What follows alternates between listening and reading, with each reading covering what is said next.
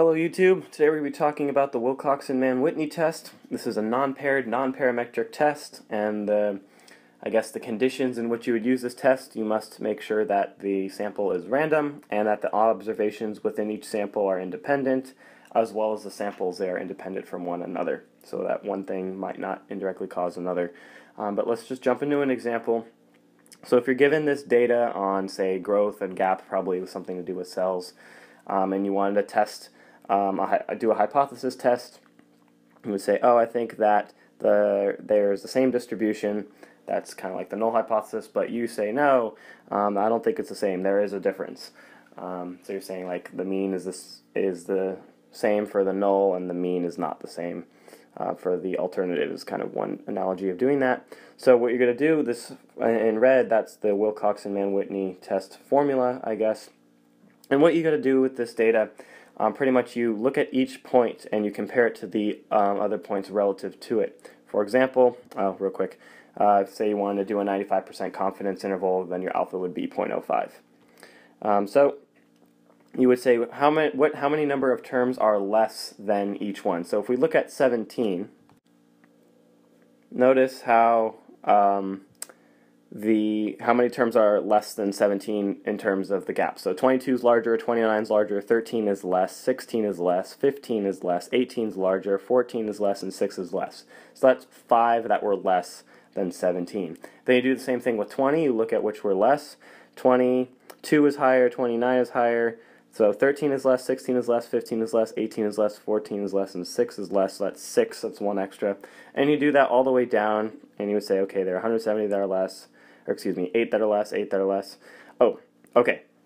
So where'd that 0.5 come from?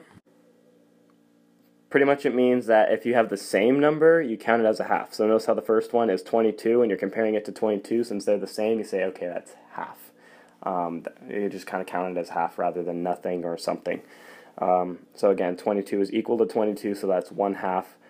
And then 13 is less, 16 is less, 15 is less, 18 is less, 14 is less, and 6 is less.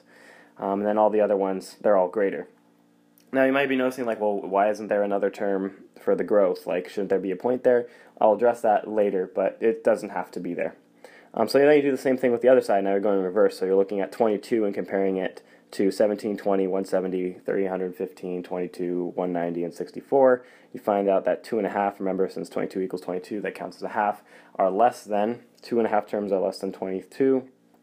And for 29, there are three terms that are less than 22, and the rest are pretty much zero except for this one, because uh, there is 17 that is less than 18, and the others are zero as well.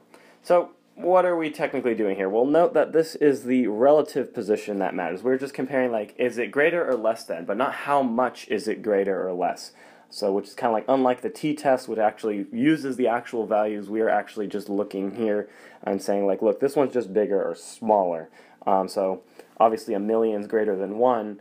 Um, excuse me, yeah, a million is greater than one, but um, 99,000 is much closer than it is to, you know what I mean? So it's like, it just, the relative position, just greater than or less than.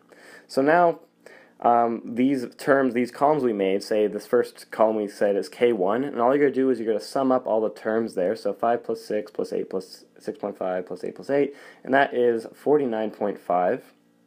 And we do the same thing with the second column we made. We'll call that our K2, and you add all those digits up and you get 6.5. Now the formula for the Wilcoxon-Mann-Whitney test um, is up above in the top right corner.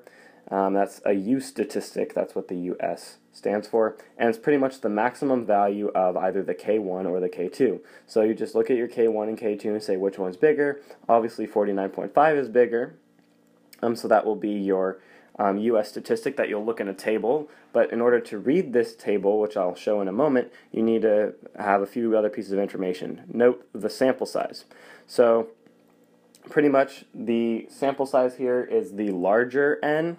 So notice how the left column here for growth has only 7 um, and the gap has 8. So that means our large sample size is 8 um, and our n prime, which is the smaller one, would be 7. So you can actually look that up in this table here. Um, it might be kind of blurry, but um, on the left is n, and then on next to that is n prime. So I highlighted 8 because we had 8 for our n and then 7 for our n prime. And then we had our u statistics we calculated to be 49.5. If you notice, it was the bigger k1 value. So we look at that and you say, okay, well, there's a 48 and a 50, so our 49.5 lies between these two values. Now I'll write down the values here. That's kind of was written in bold with a 4950, and those were the two values.